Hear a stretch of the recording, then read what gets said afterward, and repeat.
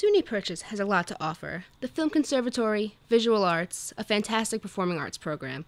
One thing we don't have a football team. We're going to kick total butt next week at homecoming. We also don't have homecoming. Purchase sports teams are competitive but operate under the radar.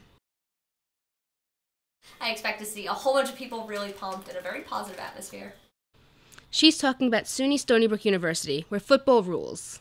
There's definitely a lot more school spirit here than I've seen at any other campus. You see people walking by, everyone's wearing red, everyone's got the war paint on, and they're just really getting into it. Daniela is pumped for every game the Seawolves play. And Yelena too. Whenever we win, we storm the field. We're very personal with the with the players, and it's just a really big like family type experience.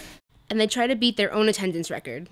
I know last year we filled up the stadium. with they had over 10,000 people. They've overfilled the quota, so I'm expecting to see the same this year. There's a lot of stuff going on on campus about um, just uh, there's just a bunch of events leading up to it on the preceding days, and I think that'll help generate a big turnout. But Purchase has fall ball, and that's tough to beat, right? I'm Natalie Brandt.